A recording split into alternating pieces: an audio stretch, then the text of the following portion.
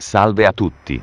Il gioco che vi presenterò oggi per la rubrica Random Gameplay si chiama Coded Arms. Questo è un titolo che volevo trattare da molto tempo in questa rubrica per la sua, a mio parere, notevole importanza sia storica sia di attualità nel campo degli FPS roguelike. Coded Arms è un titolo del 2005 che è stato sviluppato per la console PlayStation Portable. Solo da questa prima definizione possiamo dedurre un certo numero di importanti considerazioni. In primo luogo, questo titolo ha tutte le caratteristiche dei moderni FPS roguelike che oggi troviamo su Steam, ma, come detto, è stato sviluppato nel 2005. Anche qui infatti avremo la generazione procedurale dei livelli, la morte permanente ed una trama appena abbozzata che serve solo a giustificare la progressione del protagonista. Anche il gameplay, seppur portato su console, è di fatto quello degli FPS arena roguelike moderni. Anche qui infatti ci ritroveremo a proseguire nelle nostre avventure schivando proiettili e raccogliendo potenziamenti. In modo non molto diverso da come si gioca un più recente Ziggurat o Paranautical Activity. Code Darmas ha quindi anticipato di più di un decennio un genere che ai giorni nostri è esploso. Fra le altre cose, anche qui per passare ai livelli successivi bisognerà uccidere dei guardiani ed inoltre molte stanze trappola dovranno essere ripulite da tutti i nemici che contengono prima di poterle abbandonare. La trama del gioco è molto semplice. Voi siete un hacker che ha come obiettivo il violare un sistema di simulazione militare chiamato AIDA, andato fuori controllo da parte di chi lo aveva sviluppato. Questo sistema funziona creando una realtà virtuale e connettendola direttamente con il cervello umano, in modo simile al più famoso Matrix.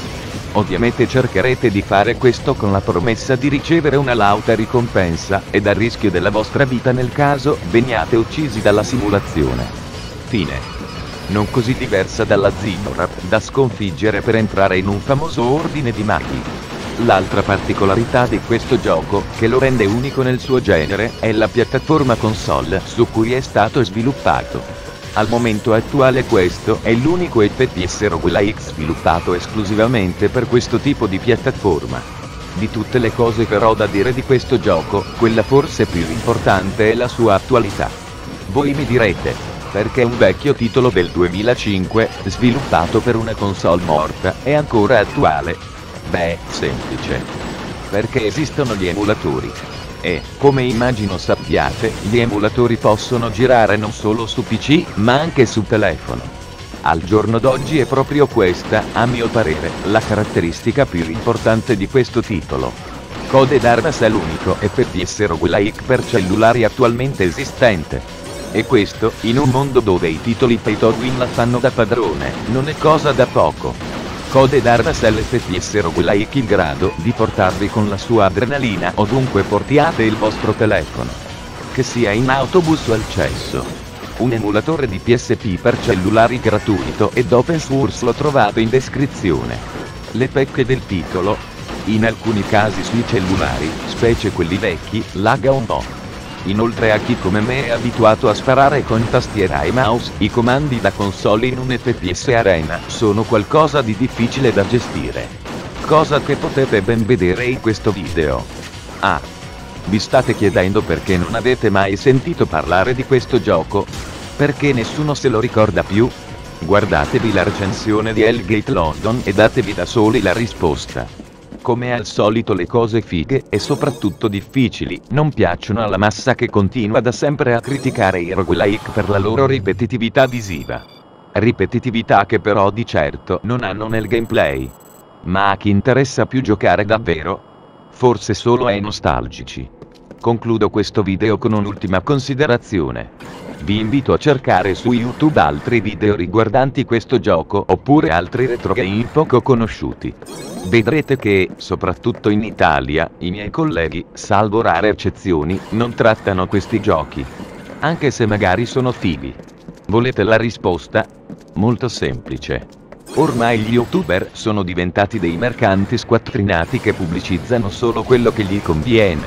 In pratica il percorso è questo. La software house chiama lo youtuber e gli chiede di recensire un gioco o fare un gameplay, lo youtuber esegue ed in cambio riceve di solito solo una key per il titolo gratuitamente. fate caso a quanti recensori su Steam dicono di aver ricevuto il gioco gratuitamente. Praticamente tutti. Questo però, almeno a mio parere, non è fare marketing. Questo è svendersi per delle briciole. Se la community pensa davvero di diventare famosa o guadagnare in futuro così si sbaglia. L'unica cosa che otterrà sarà drogare il mercato videoludico e, molto spesso, finire per pubblicizzare giochi di merda a scapito di quelli d'uomi.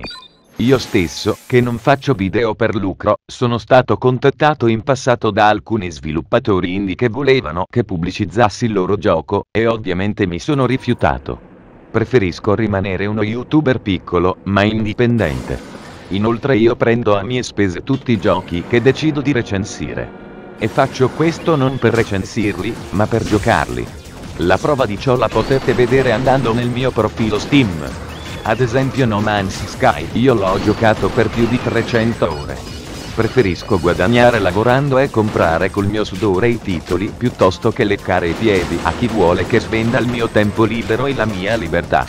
Se volete dire la vostra a riguardo potete usare i commenti. Detto questo, vi do il solito arrivederci alla prossima.